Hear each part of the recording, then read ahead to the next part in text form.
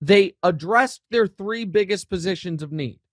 They didn't move up to get Nolan Smith. They stayed where they were, and they took the Kansas City kid from K State, Uzomah, to be a defensive end. That's back to back first round picks they've used on defensive end last year. They obviously had two thanks to the Tyreek Hill trade. I liked Karlaftis last year. we'll see what Uzomah does. In the second round, they they, according to the consensus boards, reached massively on Rashee Rice, the wide receiver from SMU. Now he was wildly productive in college, and they obviously liked him. I I'm not going to act like I scouted Rashee Rice. I'm not a draft guy.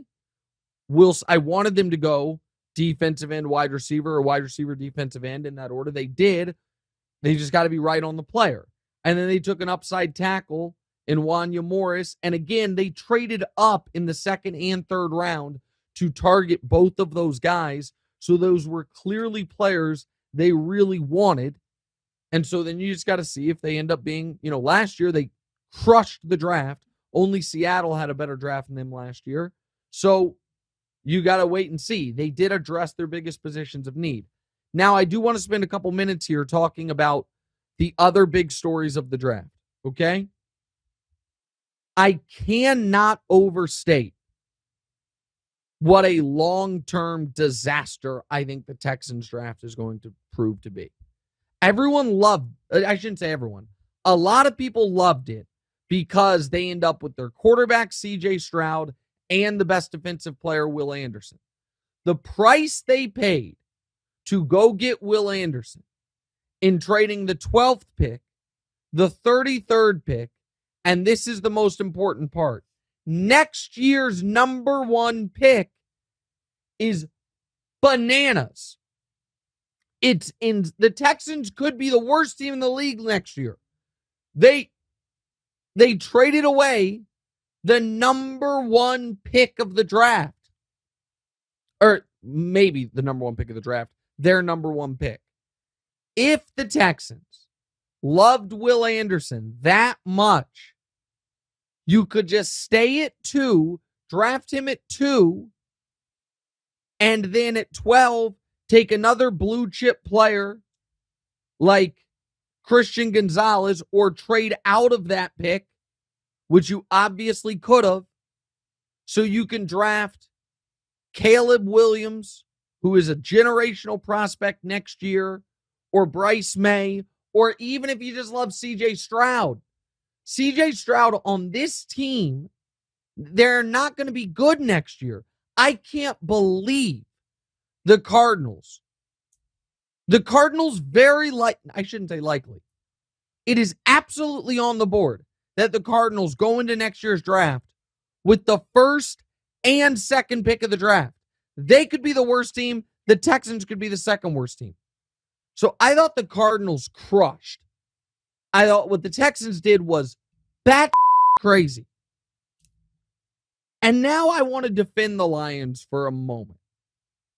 All of my smart media friends, they're in agreement on one thing. The Lions draft was stupid. They they drafted these non-premium positions and they didn't get the value they needed, all of it. Here is my tepid defense of the Lions. I don't think drafting the second best running back in the draft at 12 is good strategy. I don't think drafting an inside backer at 18 is good strategy. I understand that. I think the Lions looked at it like this. They must have believed that Jahmyr Gibbs good enough in a normal draft to be far and away the best running back in a non Bijan Robinson draft. Everyone agrees that Jack Campbell is the best inside linebacker. Everyone agrees that Brian Branch, the safety that they got in round two, is the best safety. And they must have fallen in love with Sam LaPorta, a player I liked, but everyone was shocked that he went before Michael Mayer, but they had the opportunity. So I think they looked at this draft and said, with our first four picks, we can get the best or the second best player in the entire draft at four positions and instantly have for the next five years a top level starting safety, a top level starting tight end, a st- top level starting inside backer, and our top level running back. I understand the positional value part of it. I understand why, analytically speaking, it was not sound.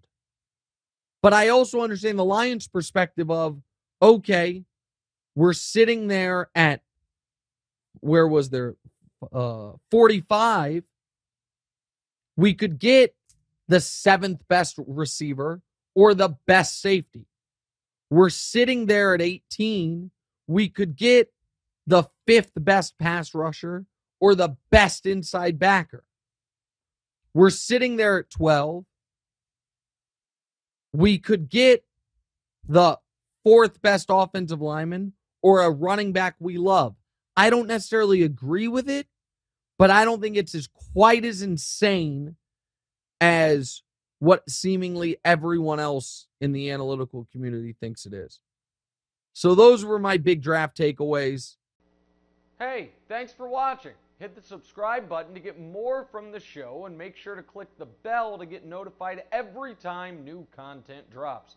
Check out full episodes of What's Wright wherever you get your podcasts, or just click the link in the description below.